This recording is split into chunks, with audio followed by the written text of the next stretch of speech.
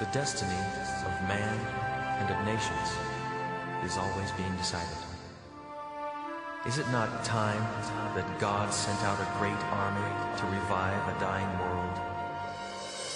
We may not be responsible for past generations, but we cannot escape the full responsibility for this one. Our time has come.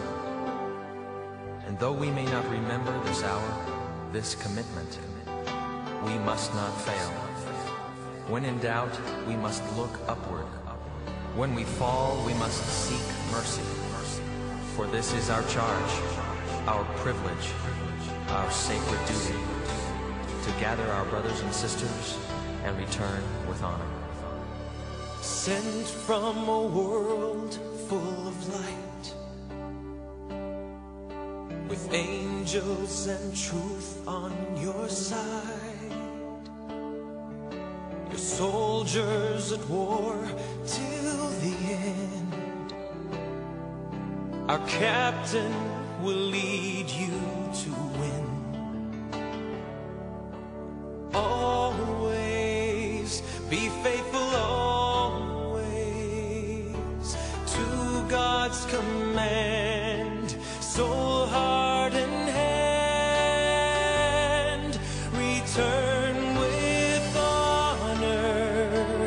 chosen ones children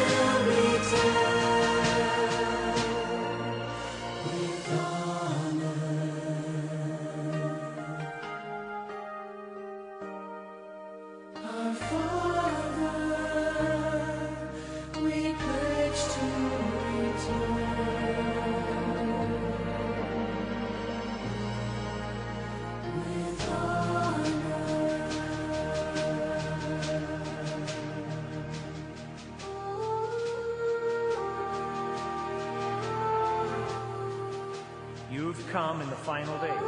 All-knowing God has held you in reserve for nearly 6,000 years. You have been waiting. Or a marked generation. Or a marked generation. Your birth at this particular time was God has foreordained. saved for the final inning an army. You must be prepared to meet your O God. youth of the noble birth. You're part of the Lord's royal army, army. There are things for each of you to do that no one else can do You preserve as well as you. your special privileges. You. You. You.